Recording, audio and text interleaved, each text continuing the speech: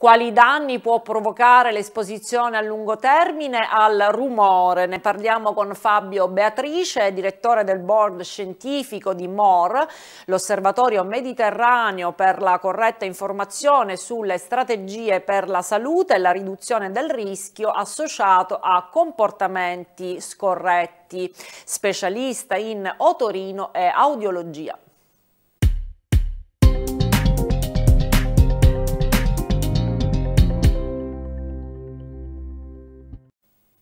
Benvenuto professor Beatrice.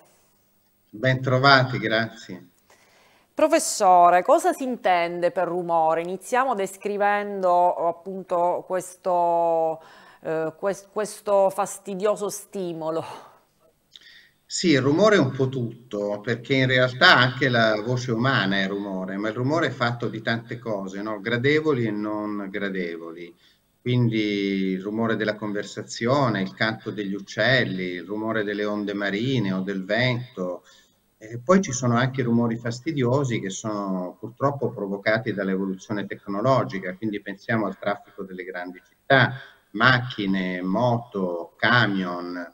E poi ovviamente c'è il grosso problema del rumore presente nell'ambiente industriale, quindi le nostre produzioni tecnologiche spesso richiedono mansioni, attrezzi eh, che producono rumore e quindi possono creare un problema eh, per gli addetti ai lavori. Quindi è un qualcosa di complesso, diciamo che con la tecnologia noi siamo diventati un po' una società di fracassoni. Vi sono, vi sono tre elementi che caratterizzano il rumore, quali sono ad esempio? Ma sicuramente è importante del rumore l'intensità che noi misuriamo in decibel, quindi tanti decibel vuol dire tanto rumore, no? pochi decibel vuol dire meno rumore e silenzio. Poi ovviamente il rumore eh, può essere legato a varie tipologie di suono, quindi ci possono essere dei suoni più semplici o ci possono essere dei suoni complessi.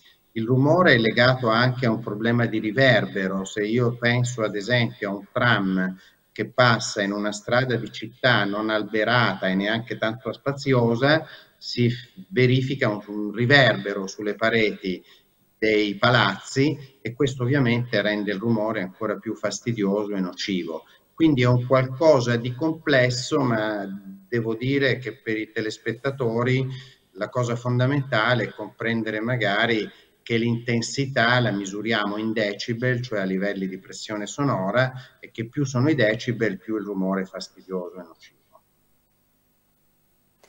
Come si manifestano gli effetti del rumore sull'uomo? Con quali sintomi? Allora, il rumore in realtà ha mh, molte implicazioni con l'organismo umano, perché un primo aspetto da tenere presente e che il rumore a certi livelli, neanche poi così alti, parliamo di livelli sui 60-65 decibel, che sono dei livelli rapportabili un, anche talora a una conversazione a voce elevata, se non diciamo a un traffico non molto intenso, già finisce per disturbare il sonno. E quindi già un rumore che disturba il sonno è in grado di provocare stress, è in grado di provocare vari altri tipi di alterazione sull'organismo, no? quindi affaticamento al giorno dopo, diminuzione della concentrazione, eccetera.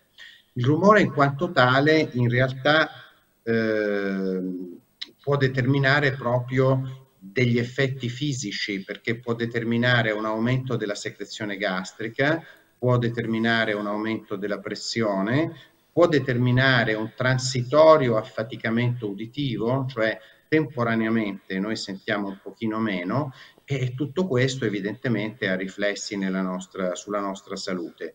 In certe situazioni però il rumore, se noi siamo cronicamente esposti, queste sono circostanze che si verificano soprattutto in occasione diciamo, di attività lavorativa, se siamo cronicamente esposti al di sopra degli 80 decibel, ma con maggiore evidenza per livelli di rumorosità superiori a 85 decibel, andiamo incontro a delle vere e proprie lesioni nel recettore che si chiama organo del corti, cioè lì dove le cellule uditive trasmettono il suono per le vie nervose al cervello.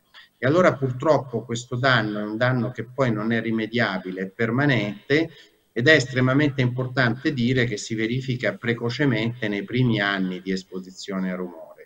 Poi ci sono evidentemente anche una serie di patologie di ordine generale che possono rendere più sensibile l'orecchio all'effetto del rumore.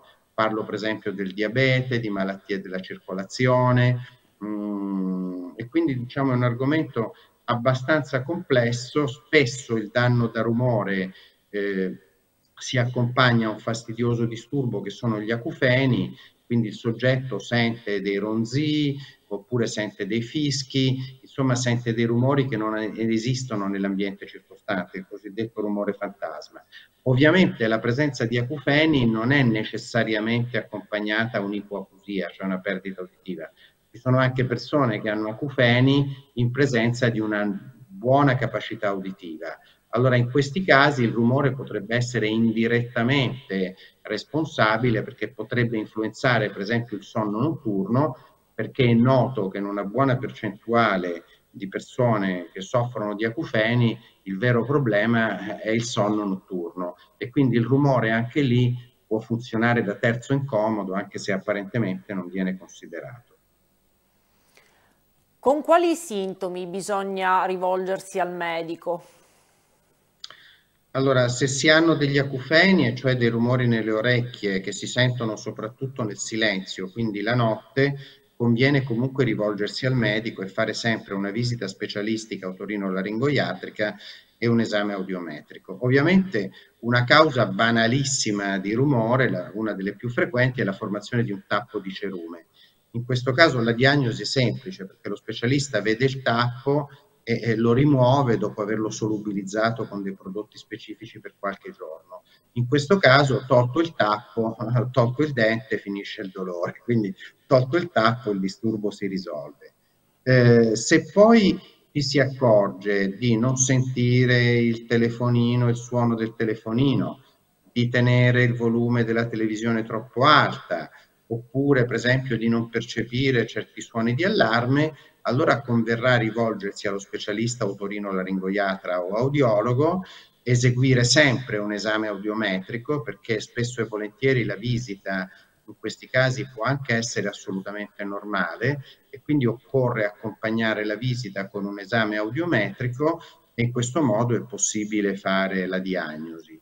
Eh, insomma è una diagnosi che se si seguono le procedure corrette è abbastanza semplice, si tratta di esami assolutamente non dolorosi. Ovviamente, diciamo, col passare degli anni possono subentrare problematiche come la presbiacusia. Inutile dire che noi oggi attenzioniamo molto l'esagerato uso in cuffia di cellulari o di musica a volumi troppo elevati. E quindi fare prevenzione vuol dire godere di tutto quello che l'ambiente può offrirci, compresa la musica, ma cercare diciamo di limitare il volume anche perché molto francamente ascoltare musica a livelli estremamente elevati in macchina o in cuffia non migliora la qualità dell'ascolto perché oltre certi livelli il rumore va in distorsione e quindi un buon ascolto non richiede volumi esagerati ma richiede diciamo volumi adeguati ecco oserei dire okay? Professore, eh, la diagnosi in questi casi, nei casi appunto in cui eh, un paziente lamenta dei disturbi eh, nel, nell'ascolto, eh, lo abbiamo accennato con quali esami? Ma allora, eh, sicuramente una visita con un'autoscopia e conviene guardare anche il naso e la bocca perché diciamo le parti sono sempre collegate tra loro. L'esame audiometrico è un esame molto semplice, consiste nell'applicazione di una cuffia, il paziente viene messo in una cabina insonorizzata, riceve un pulsantino, viene mandato prima nell'orecchio destro e poi nell'orecchio di sinistra una serie di eh, suoni, diciamo, di diverse frequenze nell'ambito dell'audibilità umana e, e, questi suoni, eh, diciamo, a, a, alla piccola, più piccola percezione di questo suono, il paziente deve eh, schiacciare un pulsantino segnalando quindi al medico che fa l'esame, segnalando l'avvenuta, per, l'avvenuta percezione del, di questo BBB. Questo si fa per l'orecchio destro e per l'orecchio sinistro, poi si applica una seconda cuffia che eh, si viene detta vibratore mastoideo perché si appoggia in questa zona, una cuffia un po' strana, ma l'esame dal punto di vista del paziente funziona sempre nella stessa maniera. Ovviamente mh, si possono fare altri esami di approfondimento, alcuni come l'impedenzometria mh, si ba- ricerca sostanzialmente la corretta elasticità della membrana timpanica e dei movimenti che la membrana timpanica fa se riceve dei suoni acuti, questo è il riflesso stapediale, è possibile poi evidentemente fare un'audiometria anche utilizzando delle parole test o delle parole prive di significato che il paziente deve ripetere e questa è la cosiddetta audiometria vocale. Esiste poi una procedura di verifica ancora più complessa che è quella di mandare dei suoni e di registrare con apposite apparecchiature delle mh, variazioni nella percezione del suono a livello cerebrale, eh, cioè l'elettroencefalogramma opportunamente lavorato risponde alla percezione del suono. Questo è un esame che serve a validare le prove precedenti. Devo dire che però nella clinica di tutti i giorni l'esame fondamentale è quello audiometrico, che è anche quello previsto dalla legge per la prevenzione dei danni da rumore, per il riconoscimento di invalidità, eh, per le varie idoneità alla guida, eccetera. Quindi c'è assolutamente una centralità di questo esame che comunque deve essere eseguito nel rispetto di linee guida e di procedure di buona pratica. Se l'esame viene eseguito in questa maniera, il suo dato è assolutamente attendibile. Professore, ehm, in quanto a terapia, eh, cosa fare in questi casi? Allora, purtroppo i danni da rumore eh, richiedono effettivamente un'importante azione della prevenzione. Eh, questo ha a che vedere col concetto di salute, no? Perché prima della prevenzione viene la salute. Allora noi la prevenzione, per esempio, la possiamo fare nell'ambiente di lavoro dotando nelle fasce a rischio, cioè al di sopra degli 85 decibel per un certo numero di ore al giorno, dotando di cuffie o di tappi i lavoratori che devono essere poi anche invogliati a utilizzarli, perché a volte diciamo, questi, questi device danno dei problemi di sopportabilità, no? perché tendono a isolare un po' la persona. Quindi lì facciamo prevenzione, però in realtà promozione della salute uditiva eh, vuol dire esporsi meno possibile a rumori esagerati, quindi andiamo pure ai concerti, eh, andiamo pure in discoteca, ma evitiamo di stare nel punto assolutamente più rumoroso tutti i giorni per un numero esagerato di ore al giorno, quando questo sarà possibile, evidentemente speriamo il più presto possibile.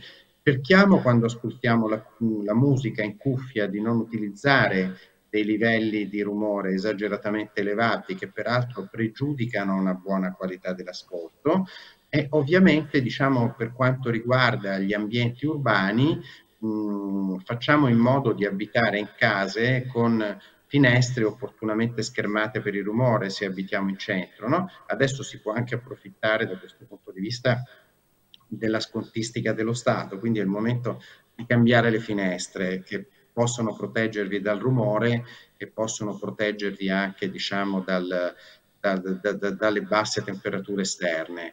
Mm, quindi eh, l'altra cosa che non tutti dicono è che dobbiamo immaginare delle strade molto alberate con viali molto grandi, questo purtroppo in un paese antico come l'Italia non sempre è fattibile, però nei borghi di origine medievale o nei borghi più piccoli le macchine non passano e quindi il rumore non c'è. L'altra cosa nella quale bisognerebbe avere un minimo di civiltà comportamentale è il problema della movida, no? si lamentano tutti nelle grandi città, Torino, Napoli, Roma, nei punti della movida notturna i ragazzi esagerano nel gridare, nel fare rumore, questo magari compromette il sonno di persone che abitano in quelle zone al primo o secondo piano. Quindi anche un comportamento più civile e rispettoso delle altre persone è un qualcosa su cui possiamo certamente agire. Professore, adesso uh, parliamo anche di terapia. Ecco, a proposito di questo discorso, la legge sulla, preven sulla prevenzione dei danni eh, da rumore, cosa dice? Perché lei ha giustamente parlato... Allora, la legge impone una sorveglianza ad 80 decibel, l'inizio della sorveglianza ad 80 decibel negli ambienti di lavoro, perché al di sotto degli 80 decibel è pieno di rumori potenzialmente nocivi che in realtà non sono dovuti al, all'ambiente di lavoro. Basti pensare che un tram produce un rumore intorno ai 70 decibel, un traffico ur urbano sui 65 decibel, un aspiratore supera i 70 decibel, quindi mh, dobbiamo collocarci al di sopra di questi livelli di rumorosità. Al di sopra degli 85 decibel diventa assolutamente indicato e obbligatorio per legge l'uso di protettori acustici individuali che se opportunamente calzati abbassano di parecchi decibel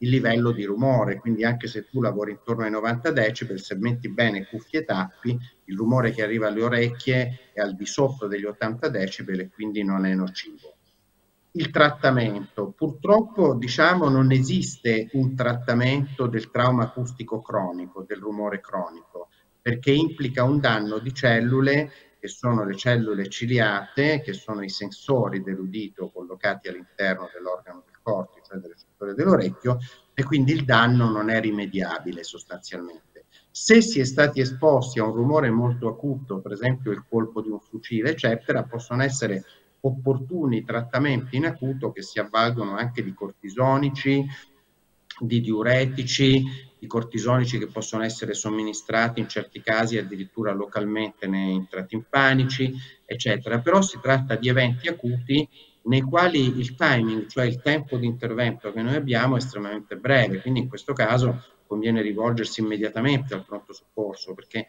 sappiamo che se interveniamo entro le 24-48 ore è preferibile. Purtroppo nulla c'è da fare per le perdite uditive di tipo congenito ereditario. Ecco, in questi casi però ehm, l'udito può tornare eh, ad essere sano, quindi il Nella danno esposizione è a rumore, reversibile. sì. Nella esposizione a rumore acuto il danno può essere reversibile se viene però rapidamente conosciuto e rapidamente trattato. Ovviamente c'è anche un problema di variabilità individuale perché non tutti siamo resistenti alla stessa maniera al danno. È proprio per questo che in questo argomento, cioè nel danno da rumore, eh, conviene muoversi veramente a protezione della salute e in prevenzione. In Perché poi una prevenzione. volta che ci sono i problemi non si torna più indietro ed è spiacevole. Certo, abbiamo sempre la possibilità di tentare nei casi non risolvibili con delle medicine la protesizzazione acustica, cioè mettere gli apparecchietti, no?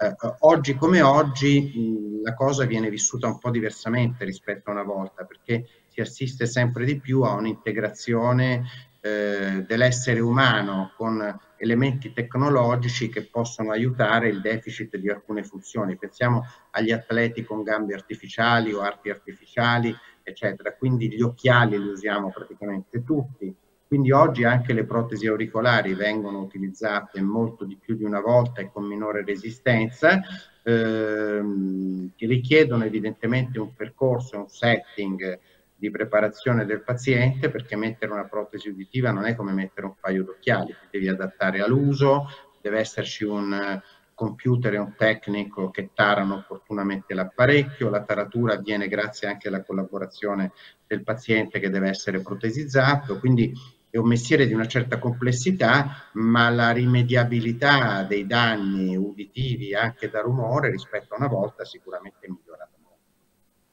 Professore, ci sono delle novità eh, appunto mh, parlando di protesizzazione acustica eh, oggi rispetto al passato? Sì, oggi noi abbiamo delle protesi di generazione digitale eh, nelle quali diciamo la la taratura, la regolazione della protesi che una volta veniva fatta banalmente con un piccolo, una piccola rotellina, una vitina dal paziente, oggi la cosa è molto più tecnologica perché vengono esaminati approfonditamente eh, tutti gli aspetti della vita della persona che deve essere protesizzata e quindi in, con queste protesi è possibile anche mascherare alcuni rumori esterni, è possibile quindi che le protesi intervengano in certe situazioni e non in altre, grazie alla programmazione elettronica e alla grande competenza della categoria professionale degli audioprotesisti, oggi si riesce veramente a ottenere una rimediazione estremamente avanzata. C'è da dire peraltro che nei soggetti che soffrono di acufeni, hanno un deficit uditivo, l'indicazione alla protesizzazione terapeutica anche rispetto agli acufeni, perché eh, si ha un beneficio a sgravare l'orecchio della fatica uditiva, perché comunque non sentire bene implica un importante sforzo di attenzione. La cosa che vorrei dire è che se sì. si ha un danno da rumore e non si sente bene il televisore, non è la protesi lo strumento corretto con cui sentire il televisore. Ai fini solo dell'ascolto del televisore è preferibile utilizzare delle cuffie esistono quelle cuffie in wireless senza fili e quindi possiamo sentire il televisore anche se non sentiamo bene senza disturbare il sonno delle persone che abbiamo in casa e, e, quindi si tolgono gli apparecchi e si mettono le cuffie in questo caso. Gli apparecchietti sono assolutamente importanti per la vita di relazione, per avere a che fare con gli amici, magari eh, con i nipoti, eh, se si tratta poi di persone professionalmente impegnate ci aiuterà nelle riunioni. Insomma è opportuno dire che si vede molto di più una persona che non sente rispetto a una persona che sente ben protesizzata. Professore, lei prima ha accennato ai farmaci, ecco, qual è il limite eh, tra mh, mm, il paziente che può essere curato solo con i farmaci e il paziente che invece ha bisogno di una protesi acustica? Allora, nel trauma acustico cronico il farmaco, come abbiamo detto, fa poco perché c'è proprio una lesione fisica del recettore, no? Quindi purtroppo gli altri recettori manderanno dei pezzi del, del, diciamo, della voce o comunque dei suoni che vengono ascoltati al cervello, entro certi limiti il cervello compensa il danno, oltre certi limiti il cervello non riesce a compensare. Nei, nelle problematiche acute o nella fatica uditiva, cioè se si è stati esposti per esempio a un concerto, eccetera, l'organismo ha una certa elasticità di recupero, cioè queste cellule se funzionano troppo si presentano di quelli che noi chiamiamo cataboliti, cioè di sostanze eh, che ingombrano la cellula stessa e le impediscono di funzionare bene. La cellula è dotata di spazzini interni per cui poi si libera di queste sostanze, quindi la fatica uditiva di un occasionale concerto in genere nelle 24 ore successive si risolve. Chiaramente farmaci che sono a base di vitamina B e quindi proteggono il, il nervo, quindi alcuni integratori o farmaci proprio antinfiammatori che possono migliorare la reazione infiammatoria determinata diciamo dal rumore possono essere utili. Però non è che a livello farmacologico noi abbiamo qualcosa di risolutivo, è proprio un argomento, il rumore, nel quale l'importanza della prevenzione e della promozione di un organo sano, quindi di una condotta di vita moderata rispetto all'ascolto e non tirata al massimo è sicuramente la cosa migliore da fare. Quali sono le iniziative di MOR, dell'osservatorio, in questo settore? Ma allora, eh, MOR è assolutamente interessato alla promozione della salute. E purtroppo la promozione della salute anche del nostro udito passa attraverso uno stile di vita sano. Non tutti sanno che per esempio fumare, oltre certi livelli, compromette l'apparato circolatorio e compromette anche la prestazione uditiva. Quindi sicuramente è bene non fumare perché questo funziona da volano per una serie di patologie che possono compromettere la salute uditiva. Per esempio se avete il diabete e fumate, il vostro diabete peggiorerà notevolmente. Ma anche una dieta sana, una dieta varia, ovviamente aiuta l'organismo a stare in salute e rallenta il processo di invecchiamento o comunque fa sì che il fisiologico processo di invecchiamento avvenga secondo canoni più fisiologici e non anticipati, ovviamente. No? Eh, l'altra questione evidentemente molto interessante è quello di come noi dobbiamo pensare le nostre città e lo sviluppo delle nostre città, perché questo passa attraverso una maggiore quantità di verde, perché il verde, oltre a essere bello da vedere, è anche un importante fonoassorbente, cioè è dimostrato che grandi viali eh, dotati di alberi eh, e di siepi espongono le case e gli abitanti delle case a minore rumore. Poi ci sono altri aspetti estremamente interessanti sui quali la nostra attenzione, l'uso nelle città di ehm, asfalti fonoassorbenti che quindi al passaggio della macchina fanno meno rumori. Ovviamente la trazione elettrica o di altra natura in città va assolutamente sollecitata perché è un'attrazione che avviene senza grandi rumori, quindi dobbiamo in qualche modo ripensare anche la mobilità urbana. E, e quindi gli aspetti sui quali noi interveniamo sono moltissimi, eh, evidentemente li attenzioniamo a livello scientifico e, e li dibattiamo all'interno del gruppo di esperti per poi divulgare queste informazioni in maniera semplice sul sito di MOR che io vi suggerisco di seguire periodicamente perché è veramente ricco di informazioni che vengono opportunamente filtrate da giornalisti professionisti in modo che eh, il sapere scientifico diventi un sapere alla portata di chiunque e non soltanto un sapere in cui sostanzialmente eh, i medici o gli esperti parlano tra di loro e restano incomprensibili per il prossimo. Quindi il nostro obiettivo è non solo fare eh, informazione e formazione scientifica, ma anche fare divulgazione e rendere la scienza fruibile a tutti, perché si ha bisogno, se si vuole migliorare su queste cose, di fare squadra. Non basta che siano attivi soltanto gli esperti, la squadra si fa con le persone e con la gente.